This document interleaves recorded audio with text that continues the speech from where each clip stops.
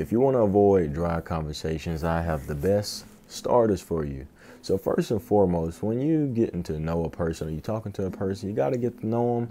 You know what I mean? You got to communicate some sort of plan, some type of goal. This can go for texting or in person.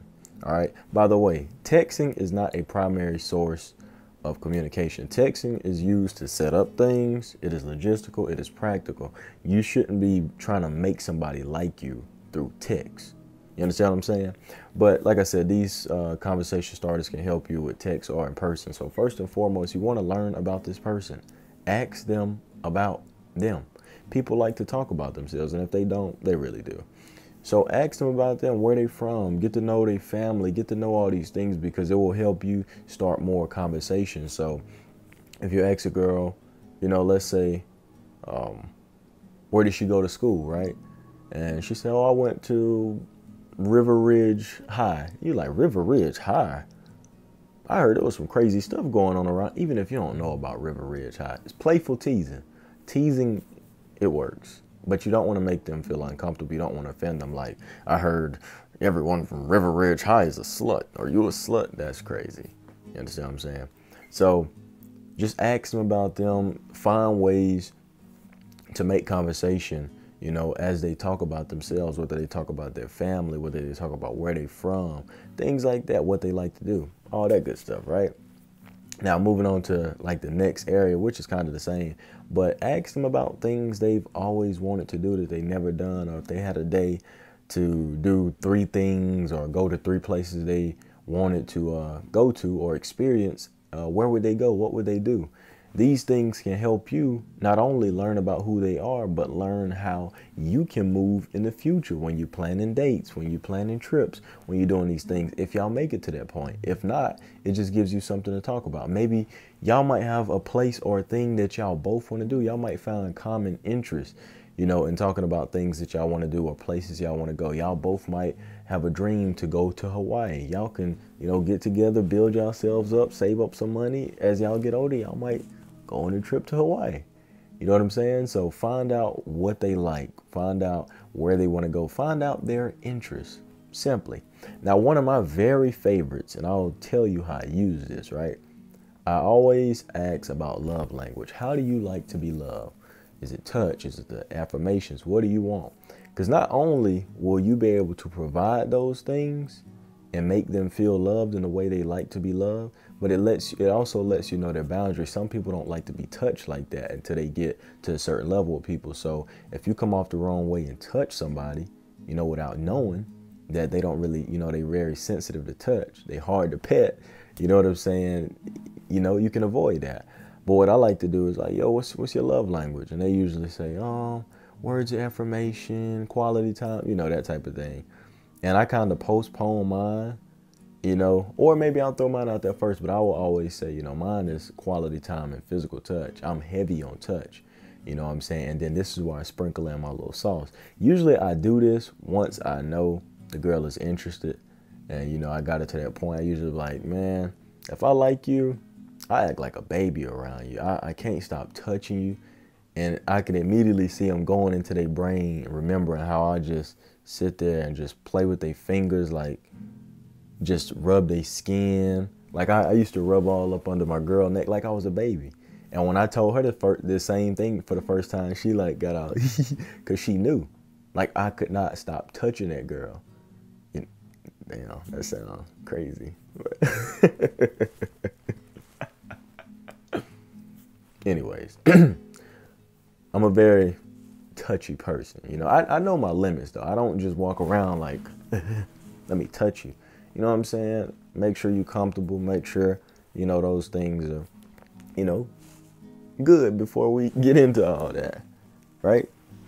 So, physical touch, I mean, love language. Love language. That's the conversation topic. That's the start of what's your love language? How do you like to be loved? You know, what what sets you off, right? What turns you on, huh? Anyways, next conversation starter, food, drinks, snacks.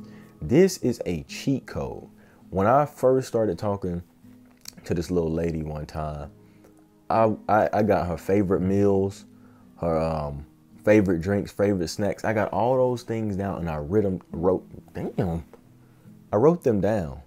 Okay? I wrote them down and I tucked them away because I didn't want to, you know, just come off like, hey, here's everything you want. That's not even the point I'm making. But I wrote all these things down so when I ran out of not necessarily gift ideas, but when I just wanted to do something special, do something sentimental, I always had something to look back on, right? So I remember, you know, in April, met this girl, asked her what was her favorite chocolate. She said Hershey's. So she was kind of, you know, dieting and stuff like that, going to the gym a lot. So like like 4 months later, one day I just randomly show up with a Hershey's. And she's like, "Oh my gosh, how, how, how did you know I love?" And I was like, "You know, I was just drawn to it. I just I know you." Anyways, you know what I'm saying? Find out what their favorite foods, what their favorite drinks are, because this also sets up future date ideas. This also sets up those future sentimental moments to where you don't have to think too much. Hey, what do you like to eat? All this. It gets all that out the way. So, you know what I'm saying? Get those things down. Y'all might share a common interest with food, snacks, a favorite restaurant you never really know. So just ask. Really, what the point of this video is, is just find out things. The best conversation starters are curiosity. You know what I'm saying? They come in the form of curiosity, questions, right? And you could you could go deep with it. You know what I'm saying? Like, um, what do you think happens after we die? Are you afraid of death? I wouldn't start with I'm afraid of death until she's comfortable because that sounds like you're getting ready to kill her. Like imagine meeting a girl and the first thing you say is, Are you afraid to die? I'm gonna be like, um, Yeah. Are you gonna kill me? Yeah. You know what I'm saying? Don't come off like that. So you know, you could just say like, um, y'all could get on biggest fears. That's another one. You could talk about biggest fears, and then you could you you could use mine, right? And say, well, I kind of overcame this lately, but uh, when I was growing up, I was afraid of dying because I I mean I just couldn't fathom what happens. Like I know with sleep, you you have dreams and things like this, but it's like you never remember falling asleep. You only remember waking up. So when you die, is it just blackout like sleep? Do you have dreams? Do you roam the earth as a spirit or is it just nothingness? What is it? And you know, you ask them what they think about it. All, all those things, man. Really um, dive into yourself. What are things you're curious about? Just ask them for their opinions and things like that. And, you know, the more you become closer to a person, the less you have to try to find out and you know you don't really have to have conversation starters because it gets to the point to where you know y'all just a part of each other's lives. Like some days when i used to go by my girl when we were together like we wouldn't even talk like that. We sat on the floor for like five hours. I played in her hair i brushed her hair scratched her scalp. She rubbed my back. And i don't even think we said a word to each other for like five hours. We just look up and laugh at each other every you know few minutes You know what I'm saying? So like, don't put too much stress on it, but simply, you know, simply just simplifying it all. Conversation starters are essentially just talking points. They're gateways for you to get to know a person to where you don't have to rely on these things. Because think about it. Do you need a conversation starter for your mom? Do you need a conversation starter for your brother? It's just like, hey, bro, come come here, dude. Come here. You know what I'm saying? So just get those things, fill them out, learn who they are. And one thing I, I must say this before I leave you're not going to be compatible with everybody. Some people are just boring. And I don't mean boring in the sense of low quality. Some people just don't have that energy for you, right? Like I I can talk, right? But I love to listen. If you never open up, you never talk, you just shallow, you don't really have nothing to talk about, you talk about nothing or you always complain, I'm not going to be around you long. You know what I'm saying? And if you're a person who can't shut up and you never let me speak, and every time I speak, you try to cut me off and try to finish my sentences when my sentences sentences were nowhere near where the hell you going, I'm not going to want to be around you long. If it's someone who just talks about, you know, we, we are all compatible with certain people. So I stress this, man, if you like somebody, you know, if it doesn't work out, if the conversation's not good, it's cool, my dude. It's cool. Sis, you know what I'm saying? Life goes on and you'll be fine. Okay, so if that doesn't help you, um, I'm gonna still find a way to help you. but yeah, man, y'all can uh, comment. You know what's going on in y'all lives. I can comment scenarios y'all may need help with, um, what kind of problems you may be facing while conversating and things like that. And um, you know what I'm saying. I can, I can help you out to the best of my ability on that too.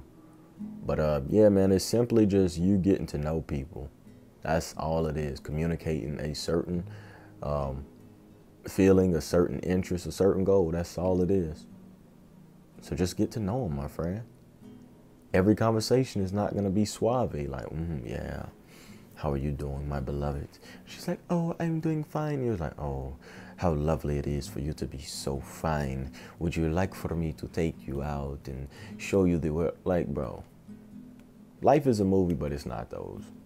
Okay? Chill out, get to know the person, you'll be fine. Okay? And also know when to leave. Like if the conversation goes dead, leave. Go do something for God's sake. And you don't have to say, "Oh, I'm going now." You can preface that because some people need that. Like, yo, I'm gonna let me let me get this knocked out real quick. I'll hit you back. But most of the time, I just go away. Because why do I have to announce that I'm busy? I'm not glued to my phone all day. Anyways, I'm yapping now. Um, I'm about to get up and go to the side hustle. So uh, y'all take it easy, man. Love you always. Thanks for listening. I hope I helped you. And I'm out of here.